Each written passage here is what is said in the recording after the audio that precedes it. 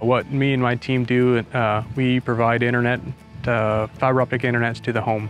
Basically, every morning uh, we'll have our jobs. We check our cell phones and, and figure out what our uh, plan is for the day, just to do that last checkup, make sure no plans have changed, and get our trucks fired up, make sure we have our equipment for the day, and then we'll go out and do a, a residential install for uh, a customer in the neighboring area. Good morning. Hello, I'm with IdeaTek doing an installation. We do two installations a day. We have an AM installation and a PM installation. And what it looks like is we start our AM installation at around 8.30, make sure we're at the customer premise, go and establish contact, talk with the customer, make a game plan, and then at that point we uh, start our project.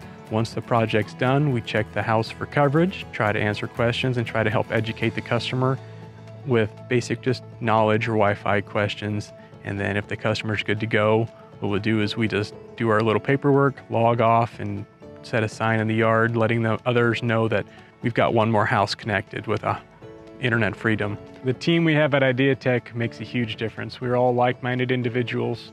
We're here, it's a career, and we all act in a way and do our jobs in a way and makes a huge difference. A culture and we enjoy each other, we enjoy what we do, and we enjoy that we're able to help others and make, uh, make a difference. One of the best things about our position is you can physically see a change. It's one change at a time.